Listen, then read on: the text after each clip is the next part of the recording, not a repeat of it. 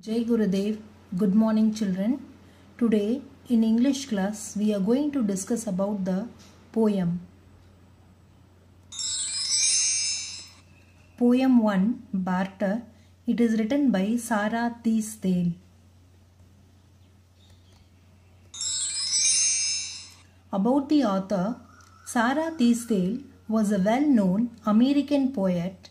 She was born on 8th August 1884 in United States. She wrote seven books of poetry in her lifetime. Her two popular collections of poetry were Sonnets to Duse and Helen of Troy and other poems.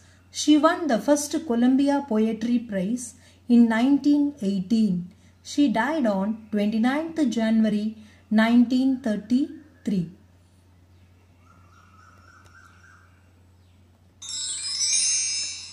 Before going to the poem, let us discuss about the title of the poem.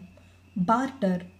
Barter system is in olden days when there was no money, people exchanged commodities according to their needs. Example, a person has two potatoes and he wants bread and another person have bread and he wants potatoes. So they both can exchange their commodities. The title reflect the content of the poem. The barter means to exchange goods without money. Here we barter and exchange loveliness with what we have. Children, a barter means um, when money was not introduced that time people started exchanging their goods according to their needs. So that's what. So how what is the meaning of barter here? In a sense here in this in this poem the author says about we have to whatever qualities we have we have to get give and get the loveliness. That's what is discussed in the um, poem Before going to the poem, let us see all these beautiful pictures. See, it's a river valley, children. How beautiful it is. See the tall pine trees. It's all very, very beautiful, right? This is a lighthouse. And this is a desert. What comes to your mind when you see all these beautiful places, sceneries, children, the images of sceneries, beautiful places help us to visualize the beauty. The beauty of nature is really undoubtful. It is rich of loveliness. We take it for free. The sun, the moon, the air, plants, flowers, oceans, no end of beautiful things all the images are very peaceful because beauty is a beautiful tone. When one thinks about beauty, they think about positive aspects of life. Children, see in our day to day life, we are very busy, right? We don't have any time to look and enjoy the nature, right? But God has created many beautiful things only for us. We have to spend time to look at all these beautiful images, right? About the poem, the poem Barter is a lyric poem consisting of three stanzas of six lines each. Through this poem, she shares the importance of taking a moment to look at the beautiful things in this life that brings joy. This poem reflected her love for beautiful things around her. The author reinforces to admire the loveliness of nature.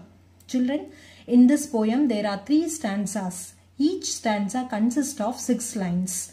Through this poem, the author is sharing the importance of uh, nature and if we admire the nature so we will we can forget all about all our worries. So that's what she's telling and she's telling us to spend some time in admiring the nature, right?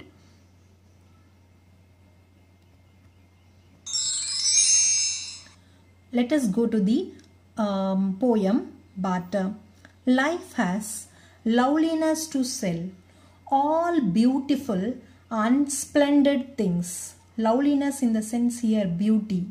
Splendid means here wonderful things attractive things right?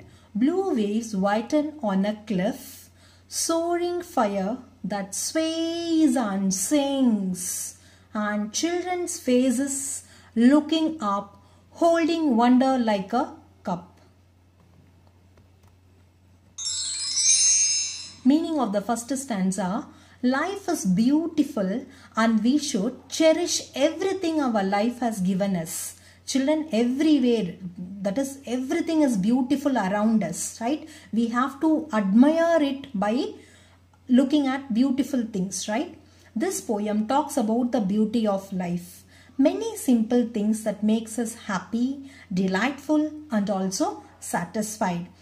In this first stanza she is telling the author is enjoying the blue waves that is um, if you go to the seashore you can see the waves children right? See um, when the blue waves uh, crash on a cliff it beca- turns into white. So that side will will look very very beautiful. That's what she's sharing here. And next is soaring fire. Fire means everybody will be scared right? So here it is not like that. It is a peaceful fire. Soaring means rising high. You can see the sight of it and you can hear the sound of it so that's what. That moves through the air swaying and singing right? At last children is compared to the loveliness of nature. She says children's means purity the pure beauty. The children are compared to an empty cup. See children, how an empty cup can hold anything in it like that children's mind are open to learning. So that's what she's telling. And so in the first stanza, three things she's telling us. That is one is blue waves. Uh, it's a very beautiful sight. Then soaring fire. Then the children's face are compared to the um, children's uh, mind is compared to an um, empty cup where a cup can hold anything like uh, anything in it right like that uh, the children minds are open for learn learning okay children i hope you understood the first stanza. Let us go to the next stanza. Stanza 2 life has loveliness to sell. Again she is repeating the same line. That is she is reinforcing us to admire the nature. So that's what is. Music like a curve of gold, scent of pine trees in the rain, eyes that love you, arms that hold, and for your spirits still delight, holy thoughts that star the night. Let us look at the meaning of the second stanza.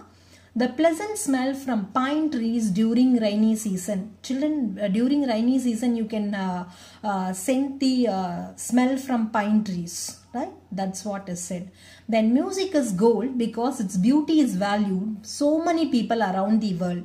See how gold is precious metal, right? And it is valued by people from all over the world. So like that, music is also respected and it is uh, admired by uh, all the people right so that's what music is compared to gold our eyes let us see the beautiful in the world children eyes are more, more very important right? So only if we have eyes we can look at the beautiful things we can see our father mother everybody relatives friends everybody. So eyes is very very important. Our hands and arms give us the ability to feel it. See when you want to hold something you need hands right? When you want to touch something you need hands. So that's what is said here. And our pure positive thoughts in our mind. See children here pure positive thoughts is compared to the um, uh, night sky. See how the stars will be twinkling during the night time. Like that our positive my our positive uh, thoughts always reflect good good things in life. So that's what she's telling. And so we have to be we should be always thankful to god for giving this. So we have to be grateful and thankful to god because god has given all these eyes uh, hands and everything right? So that's what is she's um, discussing here okay Hope you have understood. Next stanza 3. Uh, Sp- spend all you have loveliness, buy it, and never count the cost. For one white singing hour of peace, count many a year of strife, well lost. And for breath of ecstasy, give all you have been or could be. Let us discuss the meaning of a third stanza. We should not only take beauty around us, but contribute the beauty of the world. Here, children, take us. You have to admire the duty. Admire the uh, beauty of uh, beauty around us right and not only we have to admire but we have to protect the beauty for our future generation. So that's what is discussed here okay? So our what is our utmost duty? Our utmost duty is to admire the nature and also to protect the nature. Protect in the sense what? We we should not destroy it okay? We should not harm in any way right? She says to spend the time in admiring beautiful things around us. Don't hesitate to buy it.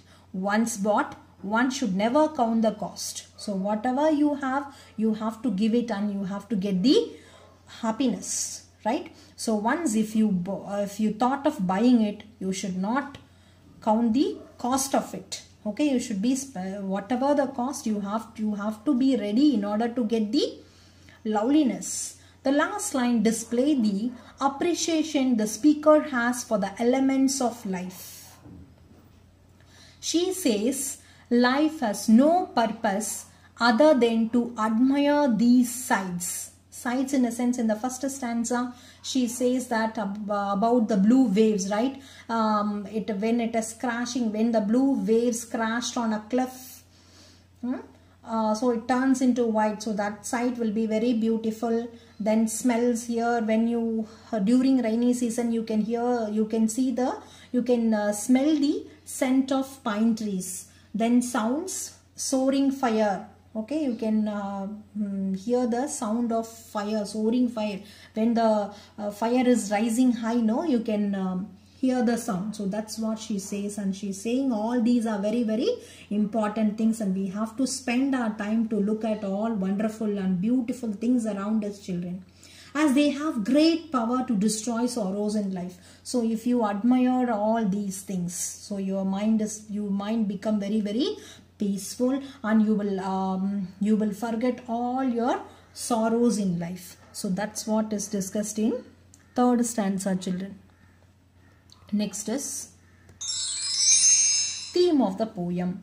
The entire poem is summarized into last two lines. In which she asks us to give all you have been to experience one breath of ecstasy in the sense happiness.